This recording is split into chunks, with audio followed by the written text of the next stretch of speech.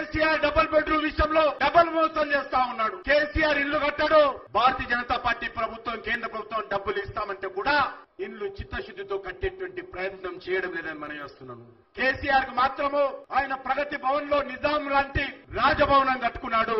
మీ కుటుంబానికి ఫామ్ హౌసులు ఉండాలి. మీరు ప్రజాధనంతో డబ్బులు కొట్టి ఈరోజు ఇల్లు కట్టుకుంటారు ఆఫీసులు కట్టుకుంటారు. మీ ఎమ్మెల్యేలకు క్యాంప్ ఆఫీసులు కడతారు.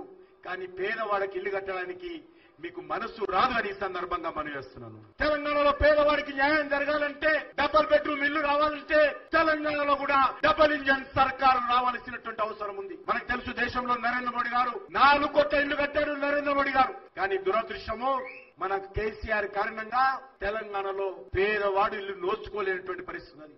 గతంలో కాంగ్రెస్ ప్రభుత్వము కమిషన్ల ప్రభుత్వం ఉంటే ఈరోజు కేసీఆర్ కల్వకుంట్ల కుటుంబ ప్రభుత్వము వాటాల ప్రభుత్వం మీరు వ్యాపారం చేయాలనుకుంటే ముప్పై శాతం వాటా ఈ రోజు బీఆర్ఎస్ నాయకులకు ఇవ్వాలి. ఈ రోజు భూముల వ్యాపారం చేయాలనుకుంటే ముప్పై శాతం వాటా ఈ రోజు బీఆర్ఎస్ నాయకులకు ఇవ్వాలి. ఈ రోజు అపార్ట్మెంట్లు కడితే ముప్పై శాతం అపార్ట్మెంట్లు బీఆర్ఎస్ నాయకులకు ఇవ్వాలి.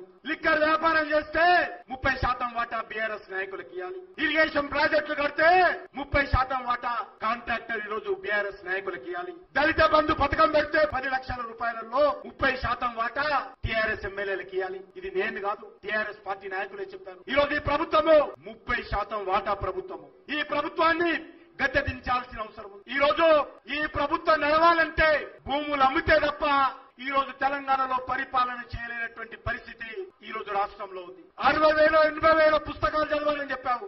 నువ్వు పుస్తకాలు చదివినటువంటి నీ జ్ఞానాన్ని అంతా కూడా ఈ రోజు ఎవరి మీద పెడతా ఉన్నావు? తెలంగాణ ఏ రకంగా దోపిడీ చేయాలో అరవై వేలు ఎనభై వేల పుస్తకాలు చదువుతూ వచ్చింది ఆ జ్ఞానం